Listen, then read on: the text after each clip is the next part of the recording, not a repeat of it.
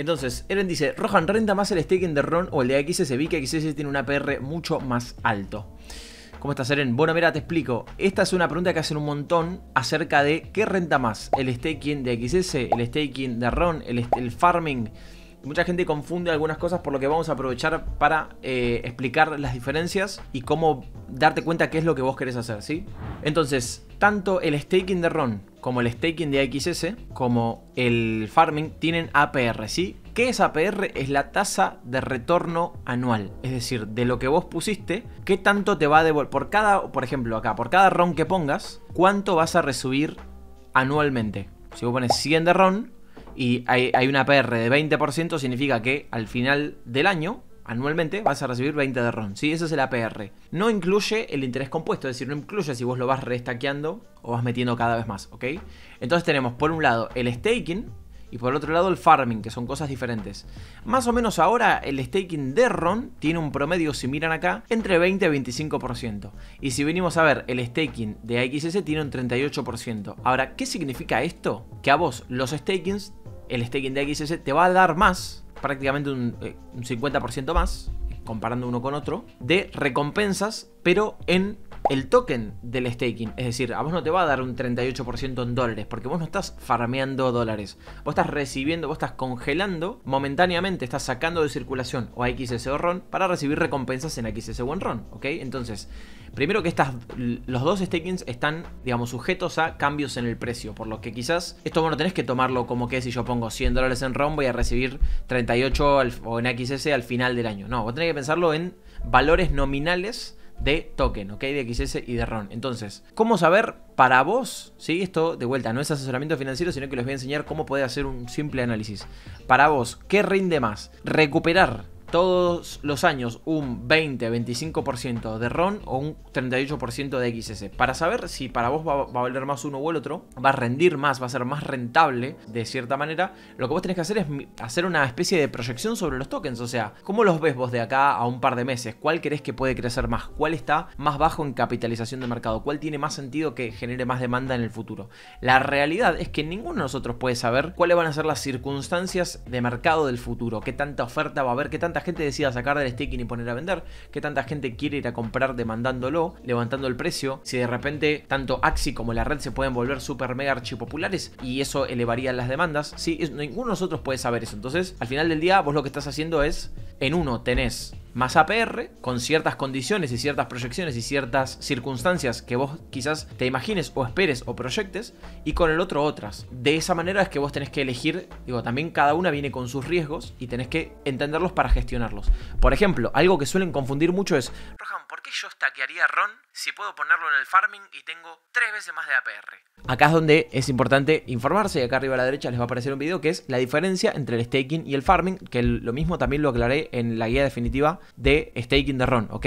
No tiene nada que ver el staking con el farming. En el farming uno lo que hace es pone liquidez en Katana, que es un exchange descentralizado, pone plata en, una, en un pool, en una piscina, si hacemos la traducción, y tiene un sistema en el que si los tokens se mueven, si, el par que vos pones, por ejemplo, RON XS o RON USS o RON WETH o RON SLP, se mueven desproporcionalmente, es decir, uno sube un 5% y el otro un 20%, hay algo que se llama impermanent loss, ¿ok? Pueden buscar, pueden buscar videos específicos en donde se explica qué es el impermanent loss, pero básicamente es la pérdida de, poder adquisitivo entre haber holdeado los tokens y haberlos puesto en el farming, ¿ok? Es decir, cuando vos pones mil dólares de RON y mil dólares de SLP, cuando vos saques te van a devolver lo mismo, pero si los, si los valores se movieron, no te devuelven la misma cantidad nominal de RON y de SLP, sino que te devuelven mil dólares y mil dólares. Entonces, si subieron mucho los precios, vas a recibir menos cantidad en valor nominal de ese token. Y si los precios se fueron muy disparejos, hay, una, hay páginas también que calculan el impermanent loss en donde vos pones a qué precio metiste los tokens y a qué precio los estás sacando y te va a calcular qué tanto es el impermanent y se llama impermanent porque se vuelve permanente en el momento que vos sacás. No es que, lo, no es que perdés dinero, sino que si vos decidís, bueno, yo, yo puse cuando el RON estaba a 0.20, el SLP eh, 800 mil centavos. Bueno, si yo voy a sacar ahora, ¿cuánto es mi, mi permanent loss en el, cuando yo lo voy a sacar? Hasta que yo no lo saco es impermanent. Cuando lo voy a sacar se transforma en permanent.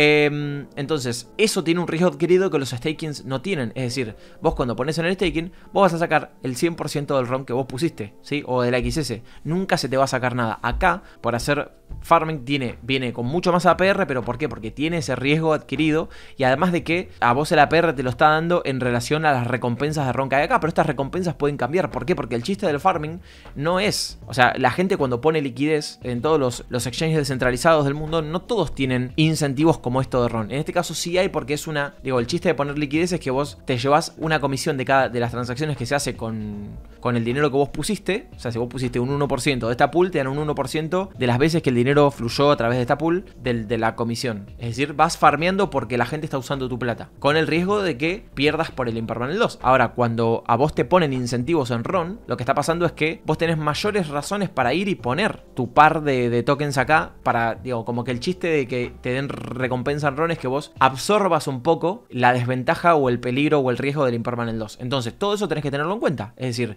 ¿qué elijo? ¿Staking de RON? ¿Staking de XS o farming? Bueno, fíjate, es decir, yo creo que el de mayor riesgo es el farming, pero al final es, mi percepción. ¿no? Digo, para mí el Impermanent 2 es un riesgo altísimo que la mayoría de gente ni siquiera entiende, entonces eso lo vuelve más peligroso todavía. Ahora, si vos lo entendés y decís, bueno, Rohan, pero la verdad es que yo pienso que el RON y el Ethereum van a subir ambos un 20%. Entonces, como ambos van a subir un 20%, para mí mi riesgo de Impermanent Loss es bajo. Entonces voy a poner ahí. Bueno, digo, ese es tu análisis perfecto. Digo, ojalá te vaya increíble. Vos estás eligiendo cuál es tu riesgo y lo estás gestionando. De eso se trata.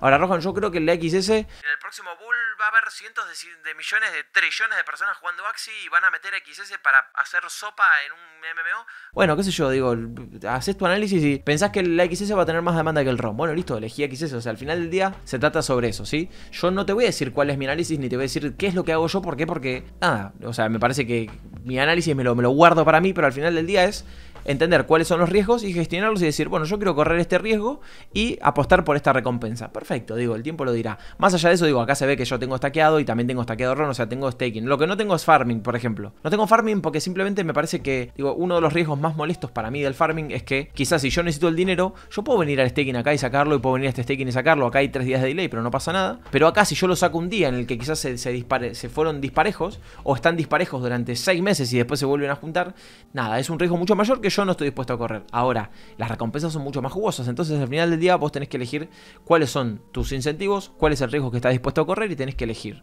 Más allá de eso, se puede hacer un análisis sobre los tokens. Por ejemplo, si vos comparas a XS con RON, la realidad es que RON es un token que tiene mucho menos market cap. Es decir, si vos vas a considerar que la red de RON va a ser mucho más grande que Axi, eso significaría, hipotéticamente, que eventualmente el market cap de RON debería superar al de XS. Eso todavía no ha pasado. No sé si va a pasar, nadie te los puede asegurar. Quizás no suceda así. Digo, eh, al final del día, por eso es importante que cada uno haga su propia investigación y simplemente piense, proyecte, entienda el riesgo que está corriendo y esté dispuesto a correrlo y bueno, y vaya a buscar las recompensas. Así que nada, amigos, eso es, todo por el video de hoy. Espero que te haya quedado claro, querido Erin. Eh, cualquier duda que tengan, igual me lo pueden dejar en los comentarios. Como siempre les digo, esto no es una recomendación ni para que hagan staking ni para que hagan farming. Mis videos no son para decirles a ustedes que tienen que hacer nada, sino para que entiendan cómo funciona, cuáles son los riesgos, puedan pensar por ustedes mismos, no copien a nadie y tomen sus propias decisiones. Porque el día de mañana, si les va muy mal, es importante que ustedes se hagan responsables. ¿sí? Si les va muy bien, también. Pero hay mucha gente que cuando le va muy bien piensa que es gracias a ellos y cuando le va muy mal es porque, ah, porque le hice caso a aquel. Bueno, no le hagas caso a nadie, pensá por vos mismo, decidí lo que querés hacer, informate, toma tus propias decisiones, acepta responsable de tus riesgos y vas a ser una persona mucho más feliz de esa manera. Amigos, un beso para todos, gracias por acompañarme en este video y nos vemos en la próxima. Código Rohan en el Marketplace si tienen ganas de apoyarme. Cabo Bonga.